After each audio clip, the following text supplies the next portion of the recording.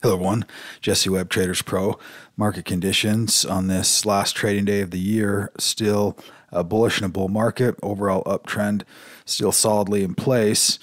Uh, just towards the upper end of that range now. We've got uh, sentiment, breadth, momentum, again, all climbing. We've had uh, this real nice uptrend rally from uh, essentially October, the end of October, uh, to where we're at now. So just sitting at the upper end of that range, and uh, pretty quiet week this week. We'll look at another S&P chart. Momentum still hovering right around that upper end of that bullish trend, not extreme.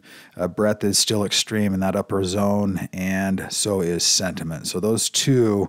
Uh, uh, breadth and sentiment are going to continue to, to hold the market back in terms of upside momentum could have one more spike up to that upper level, but uh, all three uh, need to pull back just a little bit more to create a, more sustainable uptrend for us going forward. Buy sell ratio also very extreme right here, bumped up to uh, 7.34, and as you can see within this last year, this last rally that we had early in the year uh, spiked up to those levels as well. And uh, they we typically get you know two or three spikes uh, within the overall trends here. This one, this last one, this bearish trend lasted quite a while, and so far this one's lasting quite some time, and it's got some nice extension here. This is there's two parts to, to this. And one, the, the, the, bullish part of this is that, yes, we've got really, really good breadth. We've got a huge number of stocks to the upside. And that is bullish for the overall market as a whole because that is a massive uh, trend in terms of really across the board large cap, mid cap, small cap. On the on the flip side of that, it's too extreme at this point. So it needs a little bit of a pause here to be able to consolidate some of these gains and allow for a, a new fresh base to develop uh, so that we can get a little more demand for that upside. Let's take a look at S&P 500. Here's an, here's another example. Uh, uh, actually, to uh, sectors I wanted to look at. Now let's look at indices because you see there there's just we're just heavily weighted towards this upside. All of these stocks in this buy zone, uh, creating these very large buy sell ratios across the board, uh, where you've got NASDAQ 100, a vast majority in that overall uptrend. Uh, this, like I say, this could really create some more demand or some more momentum for upside, uh, but we need a bit of a retracement here. Let's take a look at uh, markets. Let's get, look at SPY and we'll look at bonds here as well. You can see the rank. I'm going to go back to that chart. We can see the rank on some of those other smaller cap indices in terms of S&P 500, we've got this this spike sitting here now. We're out at the, the upper end of this range for both the six month and the and the one year time frame. So really powerful rally. As I've mentioned before, this retracement location, we could pull all the way back to that 454 range on SPY and still maintain that bullish uptrend, and uh, even less than that potentially that four uh, 69 range on SPY. So solid, you know, ending the year solidly to the upside. We'll see what today brings, obviously, but uh, we're going to finish somewhere in these upper ranges and going into the new year at the top end of this trend. Uh, let's look at bonds, which have really been controlling the narrative here in the last, uh, really in this last rally. Oh, this is the chart here. So we've got NASDAQ, the triple Qs, NASDAQ 100, which are leading in rank, and we've got uh, the Russell 1000, 2000, 3000 all climbing in rank. Uh, so they've they've definitely had a really powerful rally, but a big part of this overall rally, these these uh, small cap stocks really leading the way, and. Uh, uh, that also can be a good thing, considered a risk on type trade where you're getting more and more larger institutional investors looking at uh, some of these more aggressive, risky type stocks. Let's take a quick look at bonds here, see what they did the last couple of days. We've been having a continuation in this rally of bonds we're now we're still in this uh, downtrend here the, on the one year time frame on TLT.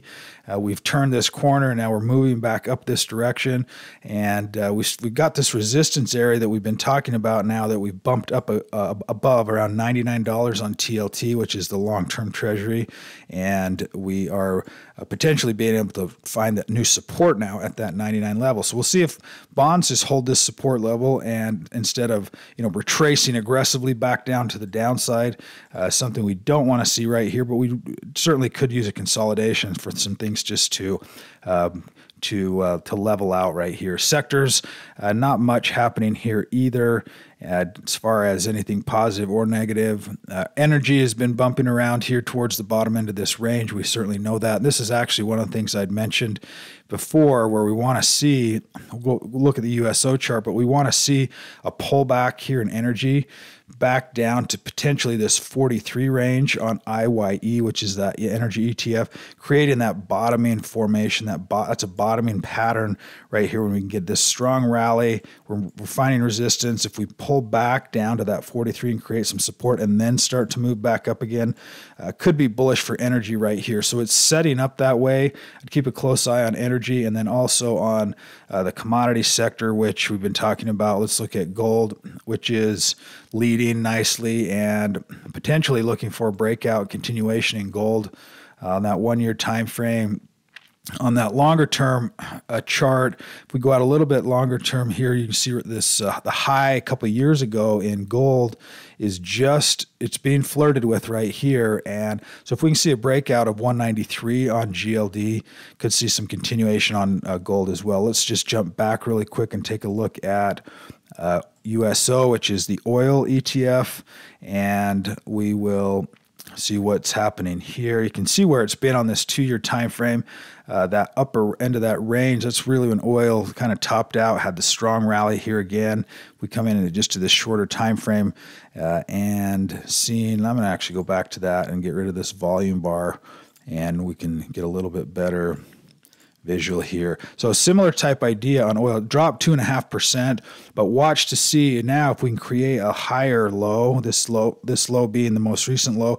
If we bounce and find some support around that 67, 61 on USO, uh, we could also get that bottoming formation on oil, which potentially could take it to more upside. Now, the, on the flip side of that, it also could be continuing its trend to the downside. It's finding the resistance right where it should be, and that is right at that uh, Fibonacci retracement of uh, 50%, and uh, and for some potential continuation of that downtrend. That would still be the overall bias since it is in that downtrend. Uh, and in this this downtrend here, watching for the resistance.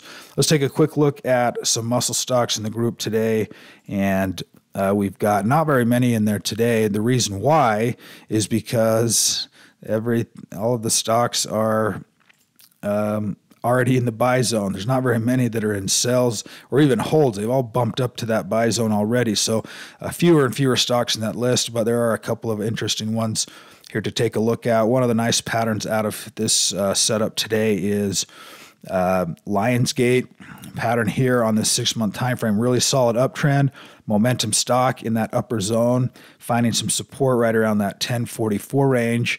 Here, you can see a little bottoming tail bar and a solid confirmation bar on uh, Lionsgate, ticker symbol LGF. Uh, dot A and uh, interesting for to consider that for today. That's a a uh, movie TV production uh, company. That'll do it for today's update. If you don't have full access to the site and software, you can sign up with the link below, and we look forward to having you. Have a fantastic day and Happy New Year.